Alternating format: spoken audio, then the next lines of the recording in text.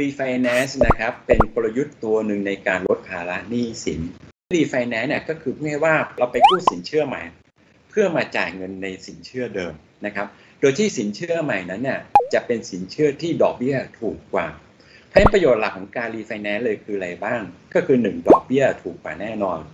นี่2คือเปลี่ยนรูปแบบของการคิดดอกเบี้ยนะครับ อย่างเช่นจากเดิมเป็นดอกเบี้ยลอยตัว ก็มารีไฟแนนซ์ใหม่เป็นดอกเบี้ยคงที่ หรือดอกหรือเปลี่ยนจากดอกเบี้ยคงที่ไปเป็นดอกเบี้ยลอยตัว อันนี้แล้วแต่เลยนะครับถัดมาที่ 3 เลยประโยชน์ของการรีไฟแนนซ์เลยก็คือการเพิ่มหรือลดวงเงินในการกู้นะครับ อันที่ 4 เลยก็คือเพิ่มหรือลดระยะเวลาในการในการผ่อน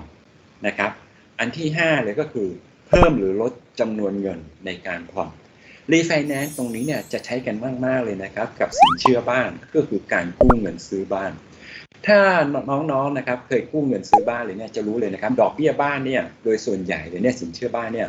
ดอกเบี้ยในช่วงปี 2 ปีแรกเนี่ยจะถูกมากเลย หลังจากนั้นดอกเบี้ยจะเริ่มแพง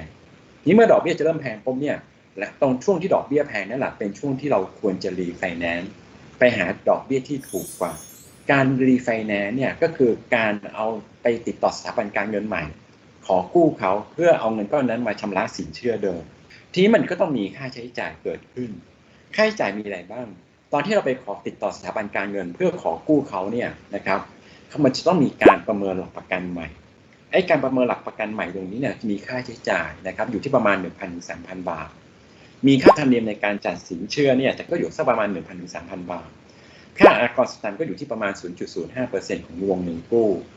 ค่าเบี้ยประกันอัคคีภัยอีกนะครับ ค่าประกันสินเชื่อนะครับแบบคุ้มครองชีวิตที่เขาเรียกว่า MRTA อีกนะครับค่าธรรมเนียมในการจดจำนองอยู่ที่ 1%ของวงเงินกู้นะครับเพราะฉะนั้นตรงจุดนี้เนี่ยคือค่าใช้จ่ายทั้งหมดเลย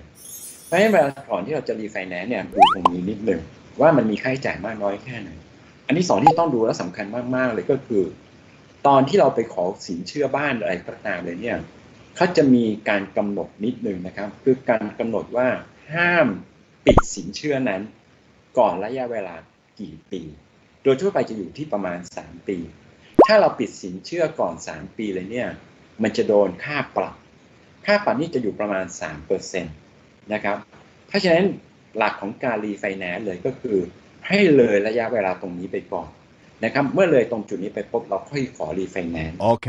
ศึกษาดูติดต่อหาหลาย ๆ ที่ดูว่า